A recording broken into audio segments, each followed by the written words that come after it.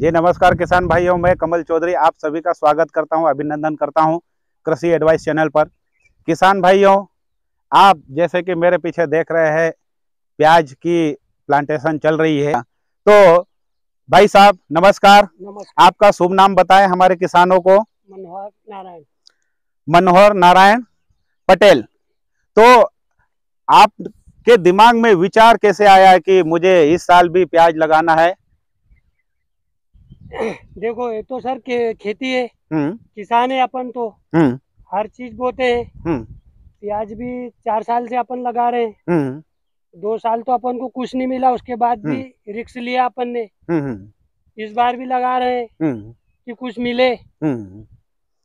तो ये पिछले चार साल से लगा रहे हैं आप? चार साल। तो चार सालों में आप दोनों सीज़न में लगाते हैं प्याज? दोनों सीज़न तो दोनों सीज़न में लगाते हैं तो बराबर उत्पादन होता है भाव की क्या संभावना रहती है? बारिश का उत्पादन कम है हम्म।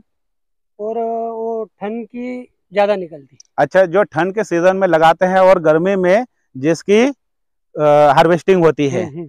तो उत्पादन आपका खरीफ सीज़न में अभी जो लगा रहे हैं और इसका जब हार्वेस्टिंग होगा उत्पादन कम होगा।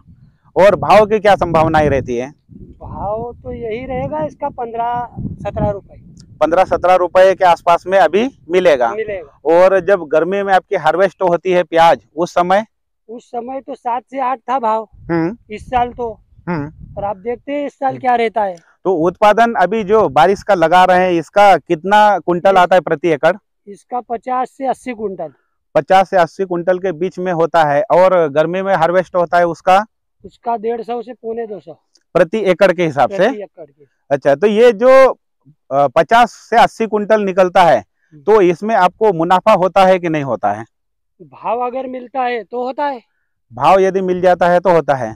तो पिछले सालों में आपने जो लगाया था उसका क्या कैसा अनुभव रहा आपको?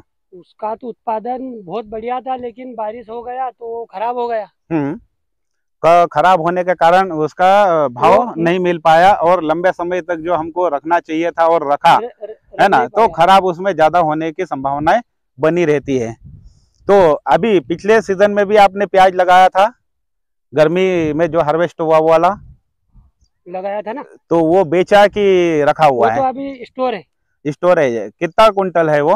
वो तीन साढ़े तीन सौ कुंटल साढ़े तीन सौ कुंटल है। किसान भाइयों इतनी रिस्क होने के बावजूद भी हमारे मनोहर भाई पटेल ने इस बार और निर्णय लिया कि मुझे हार नहीं मानना है। तो हम आगे आपको नर्सरी प्रबंधन के बारे में जानकारी देंगे बने रहिए। तो मनोहर भाई आपने जब नर्सरी में बीज का छिड़काव करा था तो सीड ट्रीटमेंट करा था कि नहीं करा था? जी सर। किससे करा था?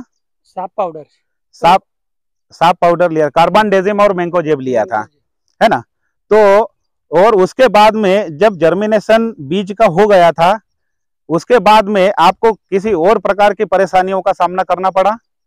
फंगस था ना उसमें। तो उसके लिए क्या करा आपने? उसमें रोको डाला था मैंने। और दूसरे फंजी साइड उसमें टेबो को ना झोल डाला था। हाँ और ये कीट जो ज़मीन कीट रहते हैं उन उनसे भी प्रॉब्लम होती है कि हमारे पौधे कहीं कहीं कटे हुए मिल रहे हैं या इल्लियों का उस पर असर है? होती है ना।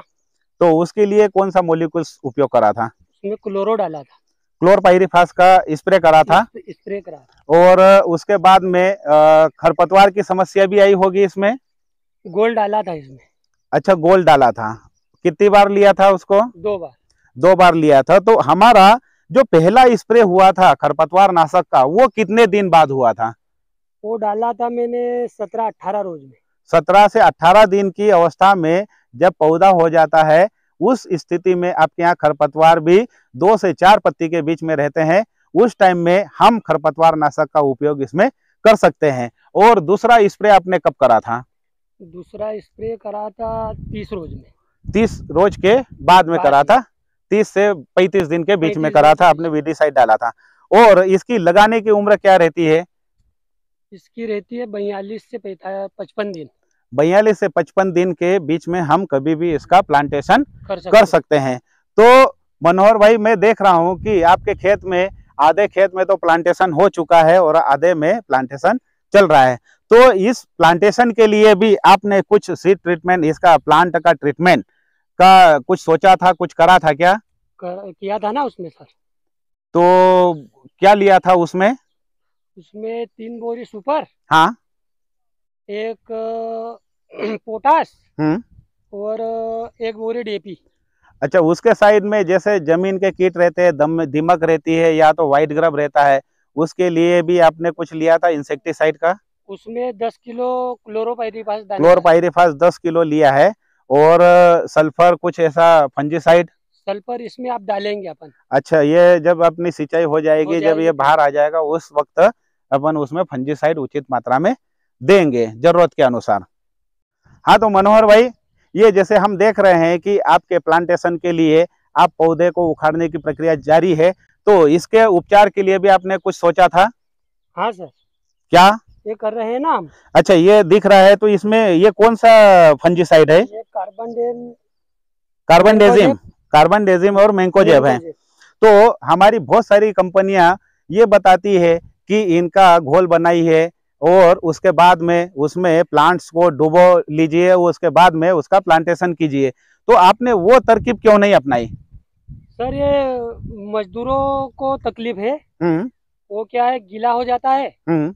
हाथ में वो रोटी वोटी खाने में उनको तकलीफ़ है। हम्म। इसलिए अपन सूखा ही यूज़ कर लेते हैं। वो तो जड़ पे डाल देते हैं। चल जाता है खेत में। अच्छा।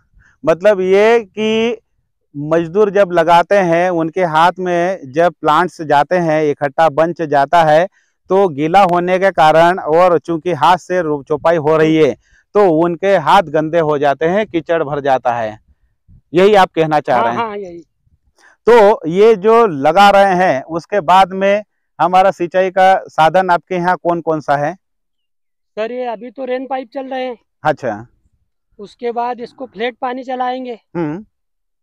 तो ये आपने जो ये दिशा इसकी लगाई है प्लांट्स को जो लगाया है वो विपरीत दिशा में पानी आपका किधर से चालू होगा? इधर ही से होगा सर ये खड़े हो जाएँगे पूरे पानी ऐसा ही चलेगा। अच्छा ऐसा चलेगा तो ये इसका क्या कारण है?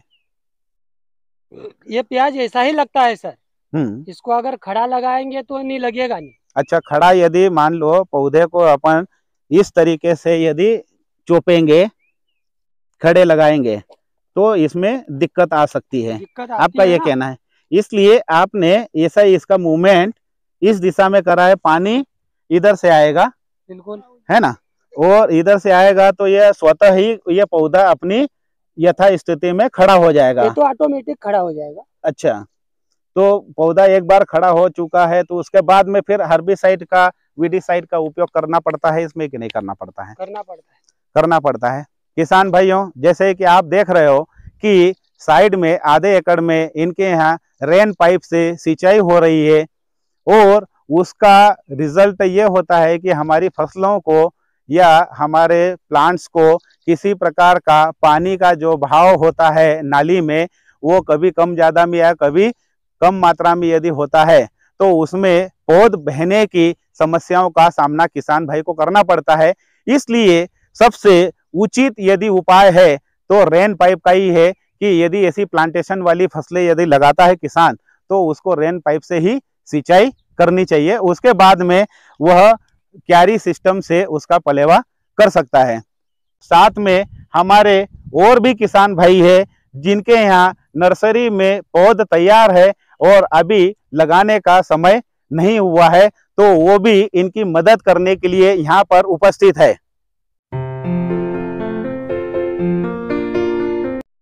तो भाई साहब आपका नाम कि, हमारे किसान भाइयों को बताने का कष्ट करें। जगदीश है अपना नाम। जगदीश है। आप भी प्याज की खेती करते हैं? हाँ हाँ। तो कितने साल से कर रहे हैं? चार साल। तो इस बार भी आपने लगाई है? अभी लगाओगे चार एक रोज बाद। चार रोज बाद में लगाएँगे? मतलब कितने एकड़ का लगाने का प्लान है? एक एकड़ का लगाएँगे। तो और आपके यहाँ भाई साहब आपका शुभ नाम क्या लिखते हैं? प्रकाश। प्रकाश। आगे? पटेल। प्रकाश पटेल। आप भी प्याज की खेती करते हैं? नहीं करते नहीं पर करना के इच्छुक है। हम्म कितने एकड़ का प्लान करा है आपने? कितना लगाना है? डेढ़ एकड़। डेढ़ एकड़ के आसपास में आप भी लगाएँगे? हाँ। तो आप पिछले सालों में भी लगाया था क्या आपने? नहीं पिछले साल में लगाया। अच्छा तो इनके यहाँ आना जाना होता रहता है इसलिए हाँ, हाँ, आपका प्लान हो गया है हो कि मुझे भी लगाना चाहिए। हाँ। तो जैसे मनोहर भाई रिस्क लेके तीन साल से आज उनका चौथा साल है फिर भी खेती कर रहे हैं। तो आपने ये उचित निर्णय लिया तो क्या हाँ। संभावनाएँ लगती है? आपको फ़ायदा होगा कि नहीं होगा? फ़ायदा और मुनाफा तो क्या है वो बाज़ार के हिसाब से होता है। हम्म। कभी फ़ायदा हो जाता है तो कभी ब- हम्म। घाटा भी झेलना पड़ता है किसान भाई को। हम्म। लगभग लगभग कुछ ना कुछ फ़ायदा मिल जाता है इसमें। मिल जाता है। तो देखा किसान भाइयों हमारे यहाँ जो तीन चार साल से किसान भाई खेती करते आ रहे हैं। उनकी सीख आसपास के, उनके पड़ोसी किसान भाइयों ने भी ली और उनकी भी इच्छा शक्ति जागृत हुई कि जब ये लगा सकते हैं और कभी फ़ायदा, कभी नुकसान उठा सकते हैं और फ़ायदा जब होता है तो बहुत ज़्यादा मात्रा में होता है कि आपके दो साल का यदि, दो सीज़न का आपको यदि घाटा यदि खेती में हुआ है, इसके उत्पादन में प्याज के तो उसका मुनाफा एक फ़सल यदि आती है तो एक ही सीज़न में उससे चार गुना ज़्यादा उत्पादन और उसका भाव देकर चला जाता है तो किसान को खेती का लाभ का धंधा महसूस होता है और वह प्याज की खेती बार बार करने की इच्छा शक्ति उसकी बढ़ती जाती है। आप सभी को नमस्कार और आप प्याज की खेती अच्छी करते हो, हमारे मनोहर भाई के साथ में रहते हो तो आशा, उम्मीद करता हूँ कि आप अच्छी फ़सल लेंगे, अच्छी मेहनत करेंगे और बाज़ार में मांग अच्छी रही तो फ़ायदा भी अच्छा प्राप्त करेंगे। इसी के साथ में आप सभी किसान भाइयों को धन्यवाद। जय हिंद, जय भारत, जय किसान।